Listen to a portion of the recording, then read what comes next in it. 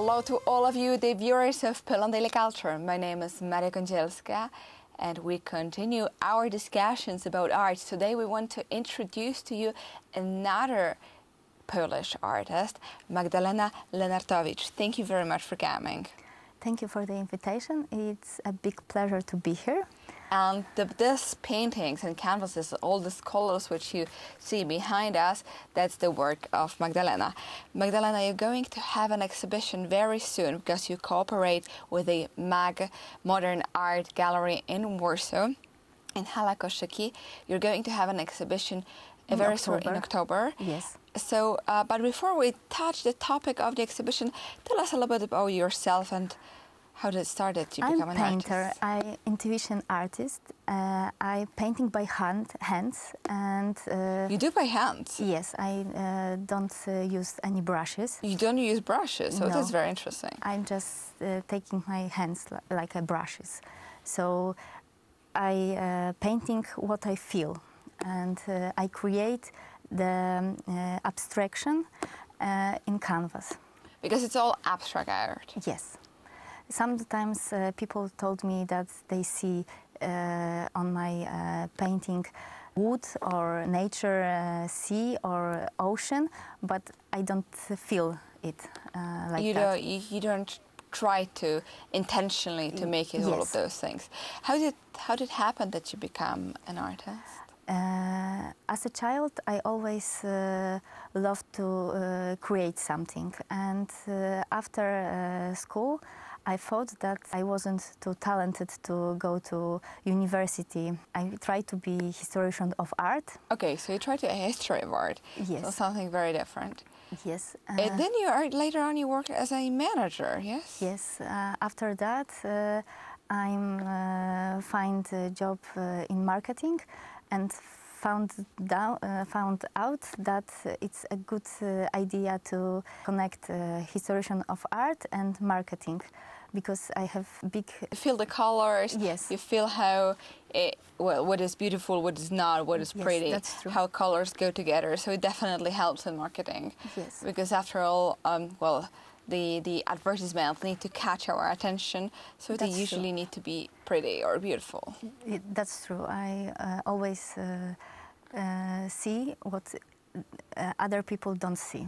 So I see. really uh, help. In it helps you marketing, in uh, marketing. So- okay, so you are working as a uh, in as a manager in a marketing firm company. So what was the trigger? What happened that you actually decided to to do the art yourself? When my uh, daughter was born, uh, uh, I need to have something that uh, the motion. Uh, Oh, can- wait, to to go let your emotion go through. Yes, that. I yes. see. But uh, th- so you stopped working because when she was born, of course, there's time when a mother needs to stay at home Yes, with a child. it was a new role in family, new role uh, in work, in, and I need to something, uh, do something with myself because I was sad and I was uh, depressed, and I try to do something more with my life because uh, being a mother is really difficult uh, role in uh, our. Uh, Well, that, So I see. definitely, there's a lot of challenges connected to it. Uh, so you found out art is your way to express yourself. yes, that was And uh, the so moment. now I know that you work on big canvases, but was it like this from the very beginning? I always try to paint in small canvas, but my uh, husband told me, "Come on, order the big one, and uh, we will see what's happened."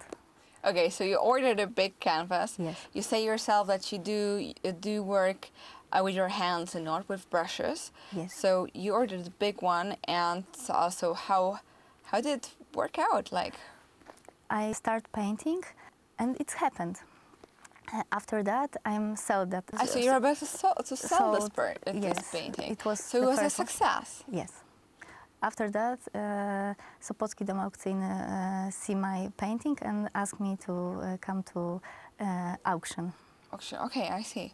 So uh, so first painting, first big painting you do, and you already have a um, a commercial success. Not really, because um, uh, I don't feel that uh, this way. It was uh, I want to uh, give uh, the client, my soul and my heart, not not the just a canvas with I my see. painting. So you you basically trying you're selling your emotions in a way, or you're selling Yes. your part of yourself. Well, it's I would say it's always a little bit like this with creating art and uh, creating dimensions, which are after all so difficult. And Someone told me that uh, my paintings are like uh, uh, drinking a champagne okay, in, uh, in uh, Italy.